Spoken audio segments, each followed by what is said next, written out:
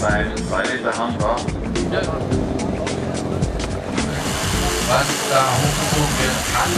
Wäre jetzt der Fall, weil war es ganz eine Bei Regel. der Windgeschwindigkeit. So, Los, also man kann hier die Version.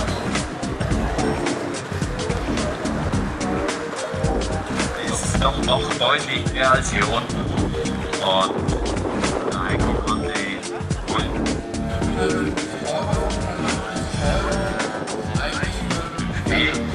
Ja, warum sieht man hier einen F5B-Flieger, den man auch beim Kaufen im Programm nicht sieht? Nee, der Gundmar ist umgestiegen. Das sind die 45C-Akkus von der Firma Graubner. Und wir bauen das im Rot. wenn man es braucht, also hierdurch hat eine deutliche Erhöhung der Leistungsfähigkeit des Segelflugzeugs im Segelflug sein hochziehen. So, wir haben einmal die, die ASH 26 mit äh, Anweisung gewesen. Dankeschön! Dekorboden dabei. Bauanleitung mit Fotos, so dass man also wirklich auch dem Rookie gerecht wird.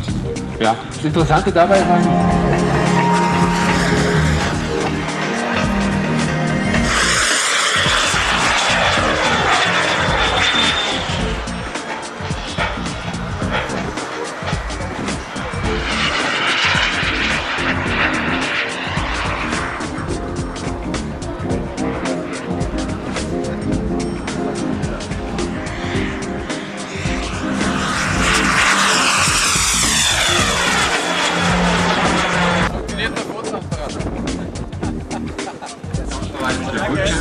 zur Landung. Jawohl, da haben wir sehr schön die Butterfly-Stellung gesehen. Das gleiche Wetter, das haben wir jetzt heute schon mitgekriegt. Momentan ist ja wieder gnädig. Die Wolken schauen ganz gut aus. Also es ist mit Regen so schnell nicht zu rechnen, sodass wir das Programm wirklich ganz, ganz locker weiter durchkommen. ein für den Funjet Ultra.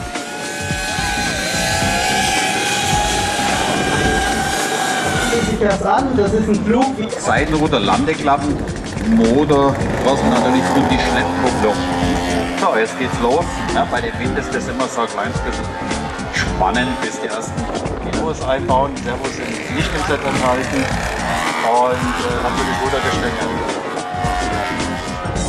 Wie man jetzt sieht, äh, der Landwehr ist schön auch kunstflugtauglich. Und solche Dinge, ja, man sieht jetzt, der Propeller hat nicht glitten, aber das ist dann, wie sagt man immer so, das sind die Schläge des Schicksals dann. Ja, das, ist so, ja. Ja, ich wollte gerade die, äh, Sind die dann schon mit drin, dass man sagt, na gut, ich baue das Modell fertig, Servos rein, der Rest ist ja schon aus dem Kasten bespannt, fertig, so dass man eigentlich relativ schnell zum Ziel kommt und nicht noch groß programmieren muss und ausprobieren muss, wie viel Rutausschlag brauche ich denn. äh, die Rutausschläge sind den, ab in die Luft. ja, den Akku darf muss man noch laden, dann ist okay, ja. Man landet bei den Lipos, man lädt die am Montag und geht am Mittwoch fliegen und das passt. Bei einer kann es sein, dass wir schon eine Beleuchtung drin haben? Jawohl, äh, ich sage immer gerne, die Cessna ist ready for night light. Äh, die Cessna hat serienmäßig eine Beleuchtung eingebaut, Positionslaternen und Landescheinwerfer. Ja, mit der kriegen jetzt also wirklich Querwind zur Bahn. Also hier war der Start Absteigen, was nämlich schon ganz spannend ist, was so Spaß macht. 350 Gramm und wie man sieht, Bodenstark. Ja, äh, nur den, den wir jetzt gesehen haben, die F-16 im Tigerlook ist hier. Ja, das ist nicht eine Startgröße. Das ist eine Nummer größer. Wir, haben einen größeren, wir brauchen einen größeren Antrieb. Auch man sieht schon, der Akku ist ein anderer. Ja, das ist noch besser, bei den Nanochats ist der Akku im äh, Paket schon dabei. Kleine Pause. Ja, dann hinten Flieger raus. Lipo ist eh schon geladen. Ja, sowas macht dann auf die Dauer schon Spaß. Vor allem, wenn man sieht, wenn man dann so zu, zu, zu zweit oder zu Der Regler ist drin, der Motor ist drin. als ein Kasten betrieben über Styropor und von der Festigkeit, also auch wenn was ist, kleben. Lifeline geht natürlich auch oder Belicell ähm, oder auch äh, zwei Komponentenkleber. Also es ist einfach und schnell zu reparieren. Also am Platz Sekundenkleber und genug Ton abgeben kann. Ach, da gibt schon was. Da sind Oldtimer verstellt. Ne? Back to the Roots. Maxi. Da Frank damals noch R RC1, heute sagt man F3A dazu. und äh, war 1970 äh, Deutscher, deutscher Meister. Gibt es ja schon Anleitung dazu, dass man nicht, ich sag mal, jeder selber finden muss, sondern gibt es Informationen, wenn man sagt, na gut, äh, ich baue jetzt, und es ist ein Roxy BL Outrunner, ist eingebaut und äh, ein relativ kleiner Kasten, der ist jetzt heute größer, ne? deutlich größer. Früher hat man dann die Leisten und die Rippen so auf engstem Raum zusammengepackt. Ja, und, äh, ein spezieller Bezeichnung gesucht und gegeben.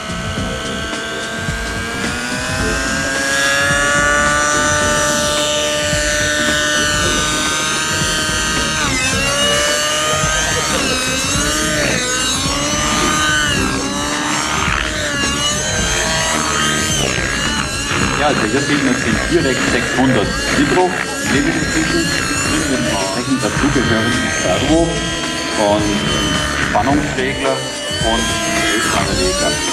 Zwei in 1 Spannungsregler, Combo. Wie muss ich das verstehen? Ja, ich, äh, bevor, bevor uns die Zeit geht, das extrem. Äh, der ist ein Helix ganz neu entwickelt und speziell für das paddellose Fliegen Und Weber, Erik Weber gehört für Kaulbach auch zum Robbe Allein Team. Äh, Erik Weber